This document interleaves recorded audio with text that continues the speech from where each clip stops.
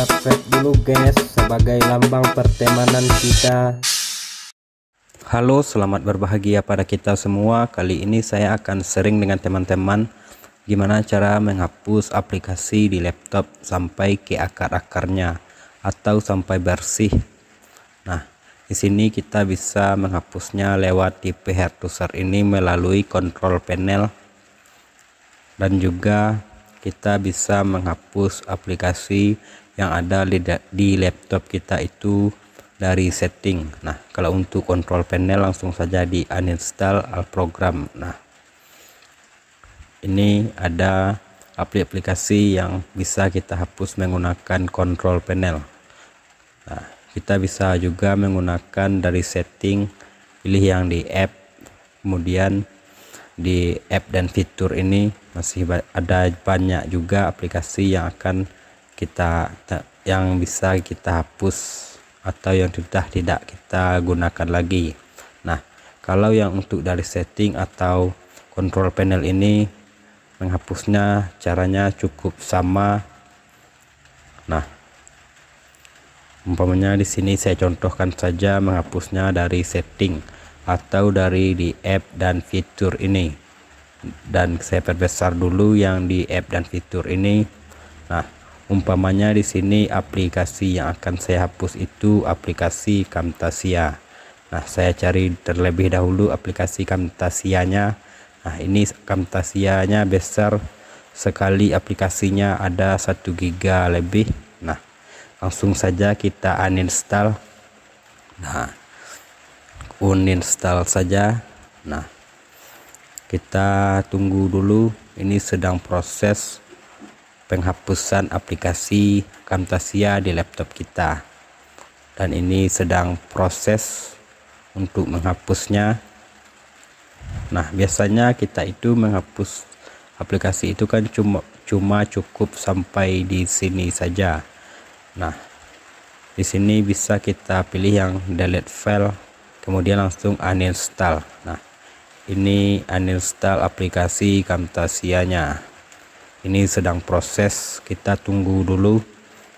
Nah, mungkin menghapus ini cukup lama karena aplikasi ini kita lihat tadi berukuran sangat besar juga ada 1 giga lebih besar aplikasi Camtasia. Nah kita tunggu terlebih dahulu.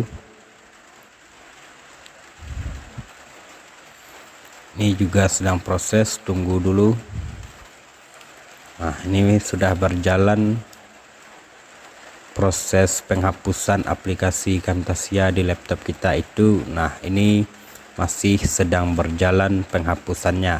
Nah penghapusannya masih sedang berlangsung. Nah ini hampir sudah penghapusan aplikasi di laptop kita TextMeet Camtasia. Nah ini masih berlangsung kita tunggu dulu. Nah, nah ini nampak masih proses penghapusannya. Nah ini sedang berlangsung penghapusan aplikasi Camtasia nya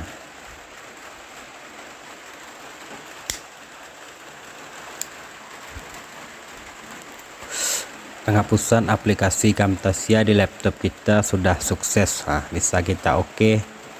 nah setelah itu bisa kita keluar close saja control panel dan setting tadi nah di bagian sini kita ketik tekan tombol Windows tambah R atau di regedit nah dan ini kita hapus di regedit ini file-file atau data-data yang ada di laptop kita yang masih tersimpan. Nah, pemanya di sini saya cari dulu Camtasia. Ah, ini Camtasia kan TextMeet. Nah, ini ada filenya TextMeet. Nah, folder TextMeet ini bisa kita hapus saja atau kita delete di current text nah ini juga masih ada kita delete juga nah ini sudah tidak ada lagi yang tulisan Camtasia atau TextMate kita menghapusnya di Heiki current list ini ya. Nah current user bisa kita close yang di regedit tadi?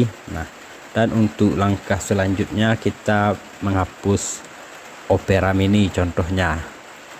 Kita menghapus opera mini ini melalui power uninstall atau iobit uninstaller.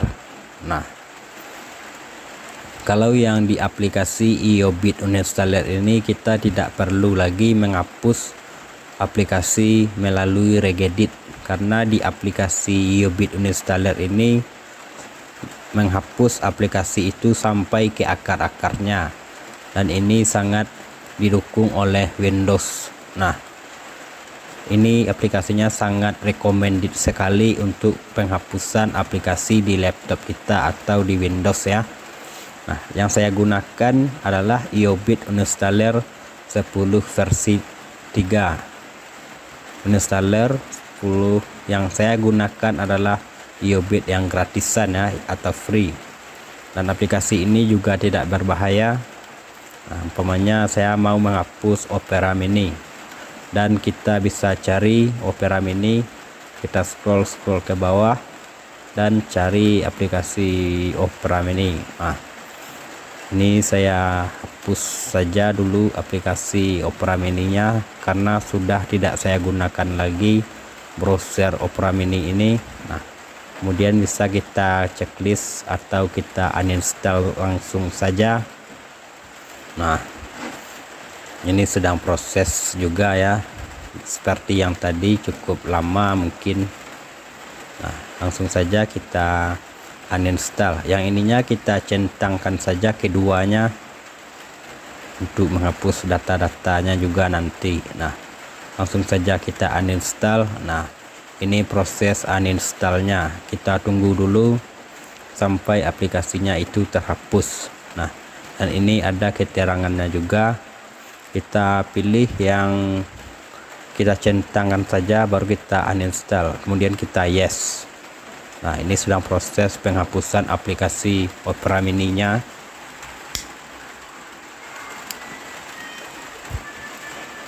kita tunggu dulu. Nah, dan ini masih berlangsung penghapusan aplikasi Opera mininya. Nah kita tunggu terlebih dahulu sampai selesai. Dan di aplikasi iobit uninstaller ini penghapusannya itu sampai ke akar-akarnya. Kita tidak perlu lagi masuk ke regedit untuk menghapus file-file tak gaya tadi atau di hacky current tadi. Nah dan ini di iobit ini langsung ke akar-akarnya ke hapus data-data browser opera mini kita itu. Nah ini masih berlangsung penghapusannya kita tunggu dulu. Nah ini hampir selesai. Nah ini hampir selesai. Kita tunggu dulu. Nah ini sudah sukses. Nah, dan ini langsung dihapus data-data kita di lokal disk C ya. Nah dan ini masih berlangsung. Nah ini masih sukses. Aplikasi browser Opera Mini sukses di laptop kita kehapus. Nah sangat mudah memakai aplikasi iobit untuk menghapus aplikasi yang ada di laptop kita kan? Begitulah caranya sangat mudah dan gampang bukan? Semoga bermanfaat juga ya